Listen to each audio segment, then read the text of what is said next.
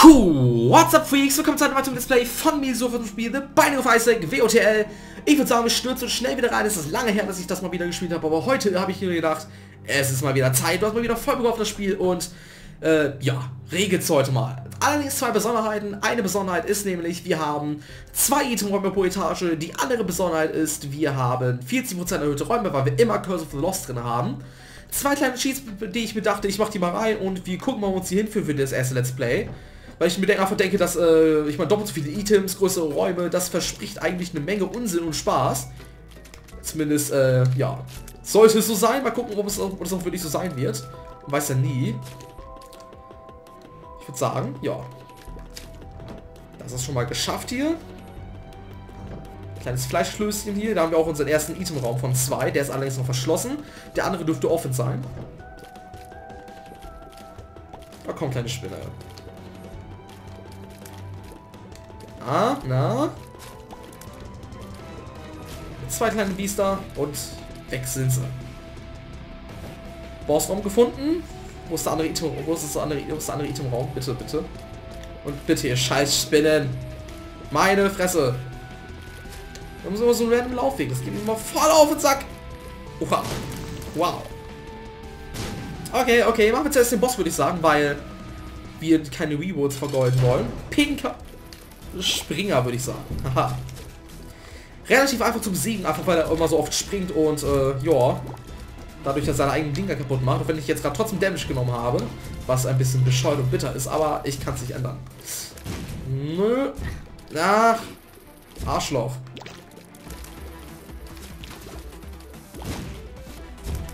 Ich musste das Ding selbst kaputt machen. Es ging nicht anders. Und da wurde gerade durch seine eigene Bombe zerstört. Wow. Needy. Magic 8 Ball gibt uns ein Blau... Ne, gibt uns ein Tears Up plus eine Tarot Card. Ne, nehme ich mal mit. Tears Up kann ich gerade nicht okay gebrauchen. Stars bringt uns in den Geheimraum, meine ich. Nein, das war, das war Moon. Das war Stars bringt uns in den Shop. In den Itemraum, aber in den falschen. Aber trotzdem, okay, ich habe immer ein Halo gefunden. Äh, Halo Stats Up, ja. Ist ganz geil, würde ich sagen. Kommt noch ein Key, das war richtig geil. Ich glaube, ich finde kein Key mehr hier. Leider, leider. Aber für die erste Tasche ist das nicht so schlimm, wenn ich beide Räume nicht öffne. Wenn ich aber gleich aber kein Key finde, dann äh, ist es schon wieder zum Heulen, muss ich sagen.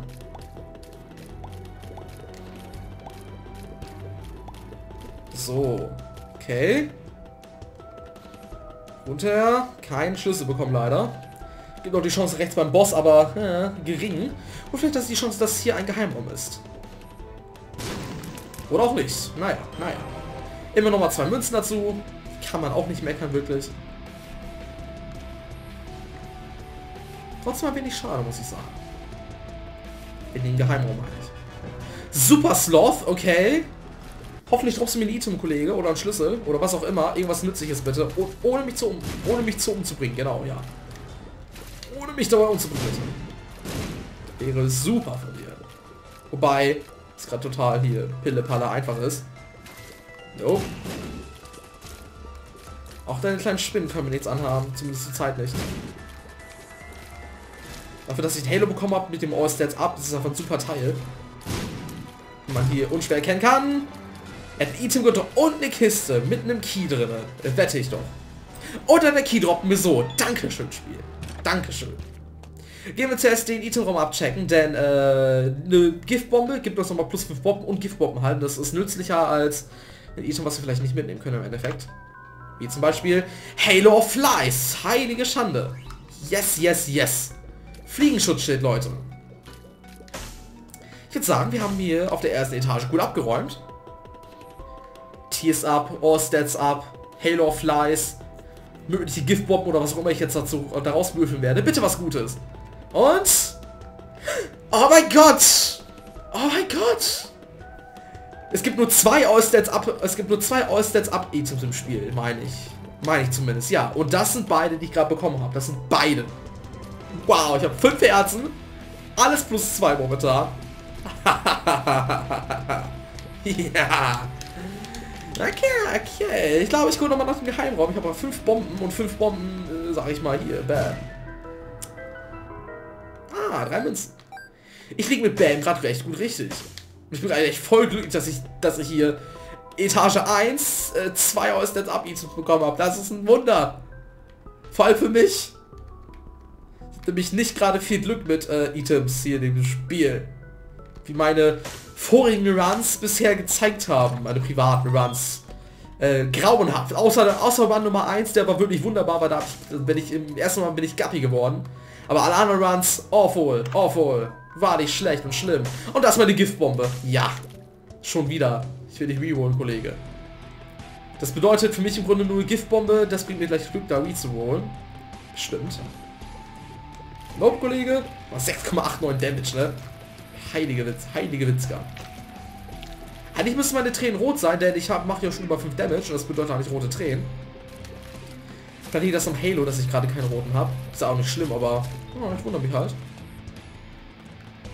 Eins. Vor allem Sonic haben wir das haben die zum Raum früher gefunden. Dann, das heißt, wir können jetzt nämlich äh, die Rerolls komplett äh, ausnutzen hier. Richtig ausnutzen, dass wir auch äh, alle wirklich hier zum Reroll benutzen und, hoffentlich ein schönes Item rausbekommen. Ein Schlüssel, super. Und den Bossraum. Mache ich glaube ich zuletzt. Noch ein Schlüssel. Oh yes. Nickel. Oder ich mache den jetzt zuerst, den Boss. Oh, ja, ich mache den zuerst. Uh, du als Boss. Den habe ich schon lange nicht mehr gehabt irgendwie. Oh, ich habe Damage bekommen. Ich könnte heulen. Gerade bei ihm hier. Völlig sinnfrei da gerade Damage bekommen zu haben. Der geht gleich bestimmt hoch. Ja, ich wusste es. I knew it. I knew it.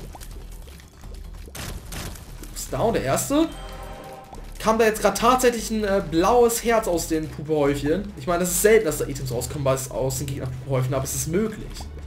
Das ist sehr erfreulich. Vor allem. Komm schon, bleib da stehen. Oh, nein, nein! Du Arsch! Yes, ich wusste, es kommt ein Devil Room. Einfach weil äh, ich kein rote, rotes Herz-Damage bekommen habe hier. So, was haben wir hier drinne? Slice packt, nehme ich mit. Damage up. Und das Ding reroll ich mal und hoffentlich bekommen wir jetzt ein gutes 3 Euro, 3 Soul Heart Items. Mark! Nehme ich mit. Auch noch plus blaues Herz 1. Wir haben beide Damage Upgrades aus dem Satans Room. Wir haben beide All-Stats Items. Fehlt nur noch das Pentagramm und ich fange an zu heulen vor Freude. Lippenstift, lassen wir mal dort stehen. Lippenstift müsste Range Up sein, glaube ich das Gefühl weil Lippenstift, Trä Augen tränen, weil man das in die Augen macht und das dürfte bedeuten. Oder äh, weil Schmuck und er rennt weg, das heißt, es könnte auch, äh, auch Speed-Up sein. Bin mir nicht ganz sicher. Die Logik dahinter ist nicht immer ganz äh, zu verstehen. Aber mache ich 9,85 Damage und guck mal wie schnell. Bitte, Leute. Dieser Run verspricht wahrlich ein Traum zu werden gerade. Oh Gott, ja, oh Gott, oh Gott, oh Gott, oh Gott. Das ist vielleicht nicht so traumhaft hier. Das Treffen muss ich noch ein wenig üben, muss ich hier gerade sagen. Und der zweite Itemraum. Wir haben drei Keys dafür. Oh mein Gott, guck wie schnell ich schieße. Und mit 9,85 Damage. Das in Etage 2. Yes. Und? Ohne Frage. Skeleton Key. Ohne Frage. Wow. Wir müssen uns nie wieder Probleme, äh, Sorgen um Keys machen. Ich kann alles aufmachen, was ich möchte. Ich bin leicht glücklich, Leute. Ein wenig leicht glücklich. Und Reroll. Wir gehen natürlich zum Itemraum. Bossraum-Item kann, kann man immer noch mitnehmen im Notfall. Äh, das Itemraum-Item waren die fünf Bomben, also die Giftbomben meine ich, aber das ist nicht so nützlich, würde ich sagen. Eins, zwei, Hoho. Traum. Ein Loki, äh, ich meine, Curved Horn plus zwei Damage äh, nach allen Berechnungen. Das heißt also genau zwei Damage dazu. So, Shop bringt mir den Kompass. Reroll ich den oder reroll ich den nicht? Der Kompass ist eigentlich nützlich. Aber ich könnte auch einen Habit rausbekommen. Aber ich glaube, ich nehme den Kompass mit.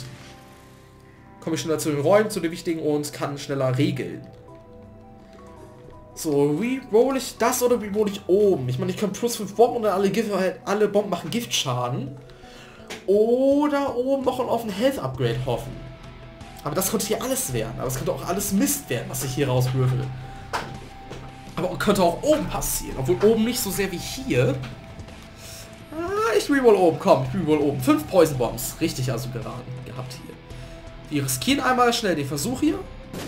Und das war richtig. Drei Münzen, ah, okay, cool. Als mitbringen sie ganz nett zum Schluss nochmal der Etage. Leider das Einzige, was mir aufgefallen ist durch diesen ähm, Sheet, dass wir zwei Itemräume haben, werden, äh, so wie ich das zumindest verstehe, die äh, Curse Rooms äh, rausgeworfen irgendwie, weil ich hier kommen keine Curse Rooms mehr. Dürfte zumindest nicht mehr kommen. So, und we roll auf Mutterschuh. Ranger. Shit. Damn it. Okay, okay. War ein Versuch wert und der Versuch ist leider schief gelaufen. Curse of the Lost. Oh, oh, oh, oh, oh, oh, was haben wir hier denn interessant? Oh, mein Speed ist heilige Schande, ist denn los. Ich habe gerade mein Speed leicht unterschätzt, wie man vielleicht gemerkt hat. Temperance, Blood Donation Machine, awesome. Bum Friend, äh, nicht Bum Friend, äh, Explosionsfriend, total beschissen. wow. Wow. Wir gehen zuerst zum Shop, würde ich sagen. Leute, das ist... Warte mal, ich, was haben wir für Items eingesammelt bisher? Sehr heftig. Ja wahrlich heftig hier. Batterie. Oh mein Gott. Oh mein Gott. Wir können schnell Rewards haben. Aufgenommen. Hä? Ah, ich habe gar keine. Oh scheiße, ich brauche Münzen. Ja, wir haben eine Blood Donation Maschine notfalls, aber hm, ich werde das ohne hinkriegen gerne. Reroll auf. Uh. Whore of Babylon. Halbes Herz, halbes rotes Herz und wir bekommen, wir werden super stark. Äh, ist nützlich, wenn man nur blaue Herzen hat, weil es dann immer aktiv ist. Aber so ist es total scheiße. Ja, sterbt einfach. Sterbt einfach. okay, wir gehen hoch zum Item-Raum. Zuck, zuck, zuck. Und down sind sie. Und erfreulich. Nicht erfreulich, gleichzeitig. Öffnen wir. Okay, zwei Schlüssel wieder raus. Äh, also ich glaube, wir bleiben trotzdem über vier Schlüssel gerade, wie es den Anschein hat. Und zehn Bomben. Was zur Hölle hat, hat das Spiel gerade mit Bomben bei mir? Ist nicht so nice. Wo man mal zehn Bomben natürlich wieder mitnehmen kann im Ende, im Notfall. Oh mein Gott, schon wieder zwei. Ich muss doch eben hinkriegen, dass ich 15 Münzen habe. Wirklich mal. Das ist äh, gerade absolute Priorität mit. Reroll. Ah. Einsatz, gib mir ein Item. Ne, gib mir einen Random Book Effekt. Das war das. Stimmt. Trotzdem.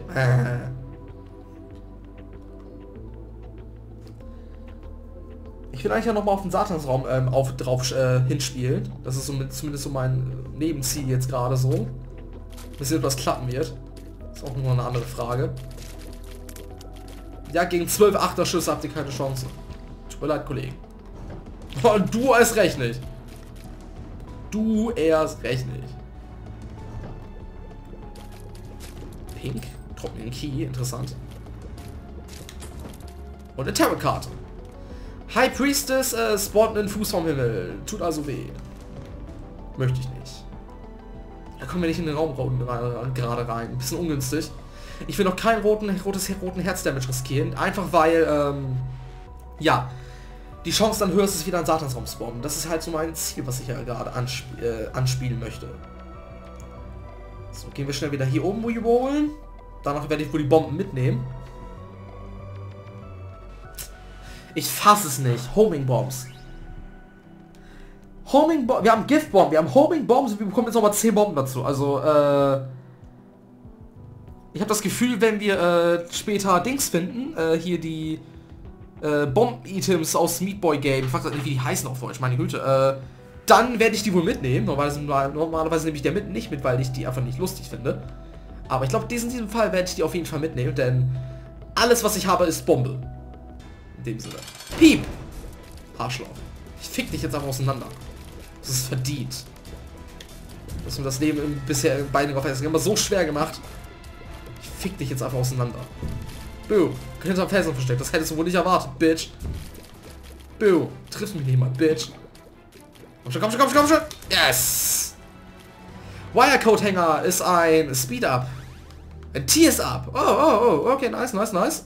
Leute. I like it, I like it. Kein Devil Room, schade. Aber äh, ich würde sagen, wir spielen letztes Mal die Temperance-Karte. Spielen die mal hier in diesem Raum. Eins. Ich hoffe, er gibt eine IV-Bag. Das wäre das wär ein Traum. Kann ich nämlich den IV-Bag-Bug wieder ausnutzen und das wäre super. Komm schon. Dankeschön. Ich glaube, das Herz hole ich mir ganz am Schluss. Da ist nämlich die Chance viel zu hoch, dass ich gleich in die nächste Etage komme. Obwohl ich hier noch nicht fertig bin. So oder so nicht fertig. Erstmal holen wir uns die 10 Bomben ab. Denn, ja. Duh.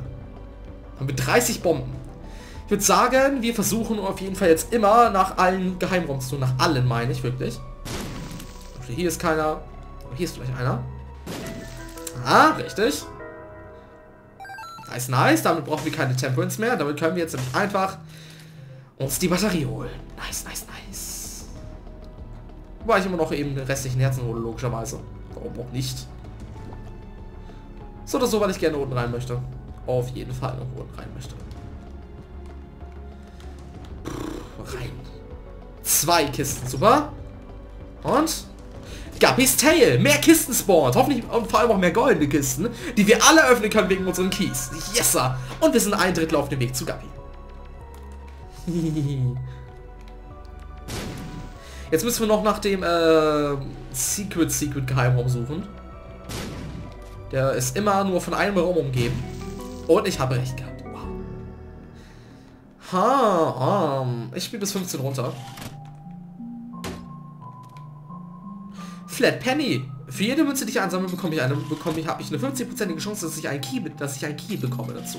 Allerdings für uns völlig sinnfrei jetzt gerade. Denn, ja. So kann es manchmal aussehen. Bist eine scheiß Maschine. Eine richtig beschissene Maschine. Enttäuscht. Leicht. Nun gut, wir müssen nach nichts mehr suchen. Wir können jetzt einfach eben in den Shop, in den Shop spazieren.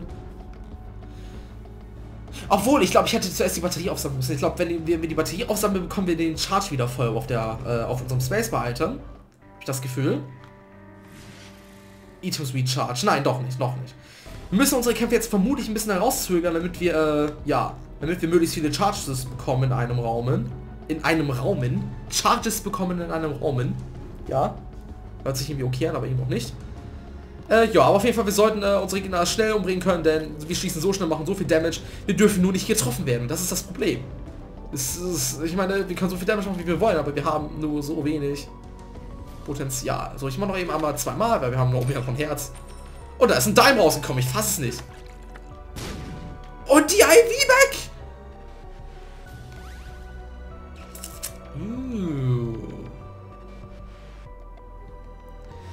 Auf einmal wurde es interessanter. Wahnsinnig interessanter. Mit, mit. Erstmal den IV äh, Bag Bug. Wir können die IV Bag zweimal nutzen und verlieren nur einmal ein Herz. Das ist ja, weil wir halt noch, äh, ja, wie nennt man das so schön, weil wir halt noch gerade äh, Invincibility haben, kurze. Und deswegen können wir da einen kleinen Mini-Bug ausnutzen. Also auch sehr praktisch in dem Fall. Jetzt gehen wir unten und geben unsere letzten 20 Münzen in der Maschine aus und hoffen auf blaue Herzen. Oder auf irgendwas anderes, vielleicht nützliches. Nicht alle 20 Münzen, aber auf jeden Fall so bis 15 runter wieder. Setze ich das Ding gleich noch zweimal ein. Blaues Herz, supidupi. Dankeschön. Komm schon, komm schon, noch ein bisschen mehr. Ein bisschen mehr noch. Burnt Penny, Bomben für Münzen.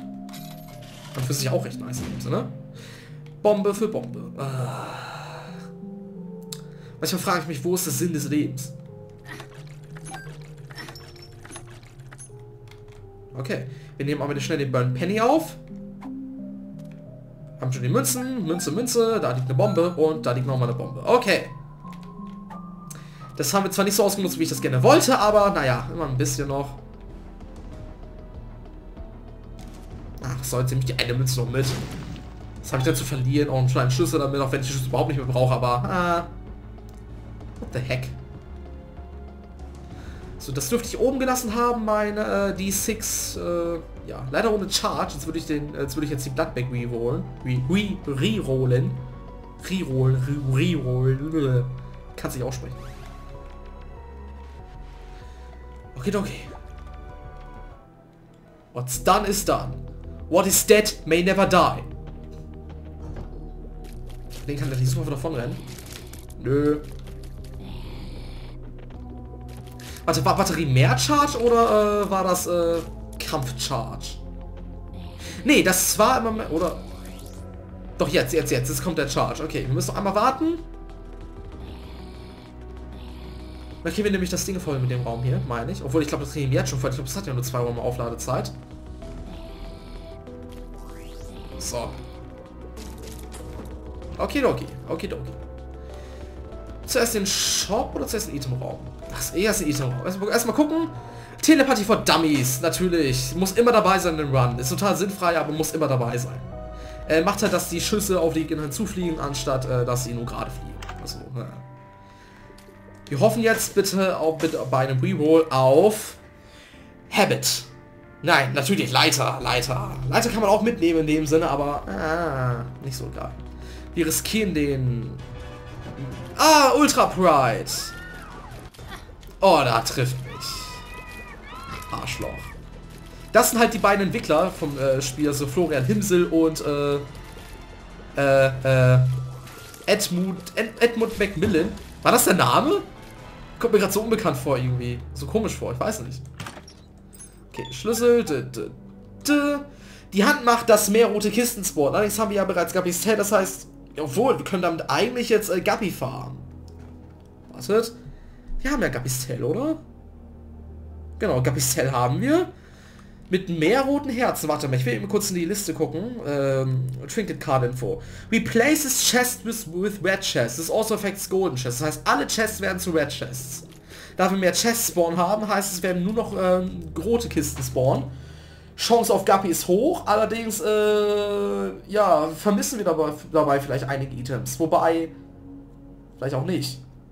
Wir, wir, müssen jetzt auf jeden Fall ein bisschen Damage. Ich würde sagen, wir machen es für diese Etage, denn ähm, ja, es könnte sein, dass wir mit einer Tasche Guppy werden jetzt. Es könnte möglich sein. Ich hoffe es zumindest. Darauf spiele ich nämlich jetzt gerade an. Rote Kiste, komm schon. Kein Guppy-Item. Buh, buh. Noch eine rote Kiste. Oh Gott, das wird interessant. Meine, so, dass wir haben ja, normalerweise würde ich sagen, wir behalten goldene Kisten, weil da natürlich auch öfters mal Items spawnen können. Allerdings, wenn wir mal gucken, ich meine, allgemein auch, allgemein unsere Items, wir haben 27 Münzen, Bomben und 96 Keys. Brauchen allgemein keine goldene Kisten mehr, außer für die minimale Chance, dass dann äh, vernünftiges Item rauskommt. Das ist halt, wie gesagt, sehr gering. Spinnen, ja, Standard und Bomben bestimmt. Bomben? Nee, nochmal Spinnen. Äh...